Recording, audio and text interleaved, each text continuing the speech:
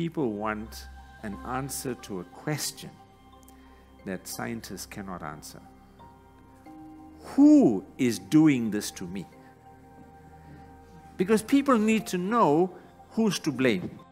We are in an era of conspiracy theories. In South Africa, we had some agreement, at, at, least during the pandemic and in the previous epidemic of HIV and TB, between government, society, and scientists.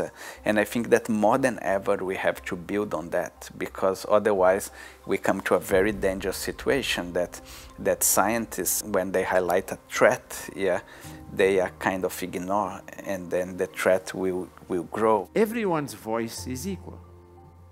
And that's the democracy of social media. A person with zero knowledge of virology, their opinion is as valid as a professor of virology who's been studying pandemics for 40 years.